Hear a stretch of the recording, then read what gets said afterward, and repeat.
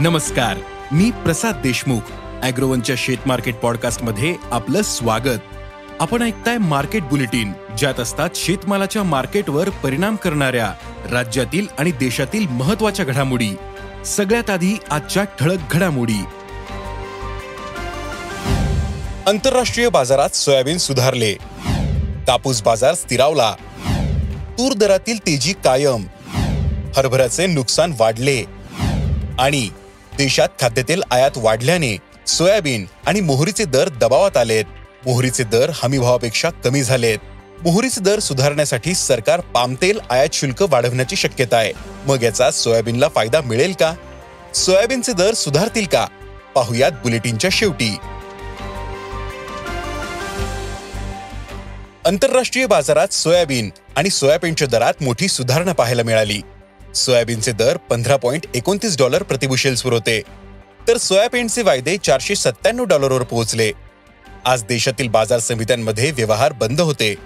पण मागील तीन दिवसांमध्ये सोयाबीनचा सरासरी भाव पाच हजार शंभर ते पाच हजार चारशे रुपयांच्या दरम्यान होता. आंतरराष्ट्रीय बाजारात सोयाबीन सुधारल्याने देशातील दरालाही आधार मिळू शकतो असा अंदाज सोयाबीन बाजारातील अभ्यासकांनी व्यक्त केला आहे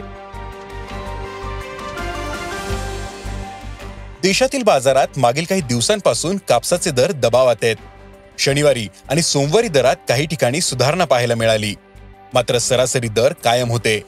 कापसाला सध्या सात हजार नऊशे ते आठ हजार तीनशे रुपयांच्या दरम्यान दर मिळतोय. तर आंतरराष्ट्रीय बाजारात कापूस पंच्याऐंशी सेंट प्रतिपाऊंडच्या दरम्यान कायम आहेत. देशातील बाजारात आवक जास्त असल्यानं दर दबावात असल्याचं सांगितलं जातं. अवकेचा दबाव कमी झाल्यास दर सुधारतील असा अंदाज जाणकारांनी व्यक्त केला आहे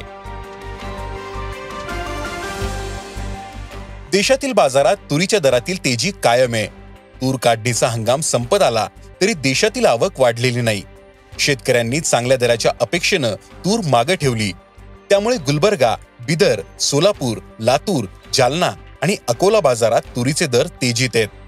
सध्या तुरीला प्रति क्विंटल सरासरी सात हजार पाचशे ते आठ हजार चारशे रुपये दर मिळतोय. मार्च महिन्यात तुरीचे दर टिकून राहण्याचा अंदाज आहे. तर एप्रिल नंतर दरातील तेजी वाढू शकते असा अंदाज तूर बाजारातील जाणकारांनी व्यक्त केलाय. देशात हरभरा पिकाचे नुकसान वाढते. मागील तीन दिवसांपासून विविध राज्यांमध्ये पाऊस आणि गारपिटीचा पिकाला फटका बसतोय. त्यामुळे हरभरा पिकाचं नुकसान वाढण्याची शक्यता आहे. त्यामुळे हरभरा बाजाराला आधार मिळण्याचा अंदाज आहे.